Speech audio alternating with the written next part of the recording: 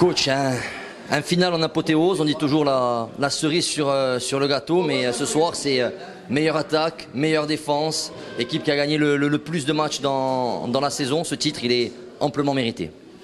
Ben, vous avez tout résumé, c'est ça. On a, on a été, notre force, c'est qu'on a su être régulier. On a toujours continué à avancer, on n'a pas fait de mauvaises séries. On a, eu un gros matelas suite à notre série de 5 victoires, on l'a maintenu. Euh, Voilà, aujourd'hui, on a 63 points.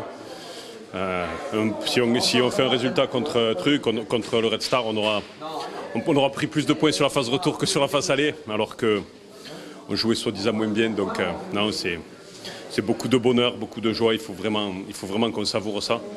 J'espère sincèrement que demain l'aéroport va prendre feu. Coach, on a vu une équipe qui a parfaitement abordé ce, ce- ce match. Dès, dès les premières minutes, vous avez pris l'ascendant sur cette équipe de Queville. Ben, on savait qu'il fallait qu'on joue notre football. On avait, on l'avait bien fait, on avait bien réagi contre Cholet. Là, on l'a, bien fait aujourd'hui.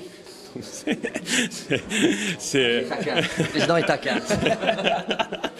non, c'est, vous allez lui parler de prime, il va être moins taquin. Mais bon, il est parti, là, ça y est. Pardon non, la victoire est méritée. C'est beau d'être champion ici chez notre dauphin, avec qui on s'est tiré la bourre toute la saison. On a montré que on méritait ce titre de champion. Voilà, on a su le faire. On a montré qu'on pouvait faire la fête et être champion après.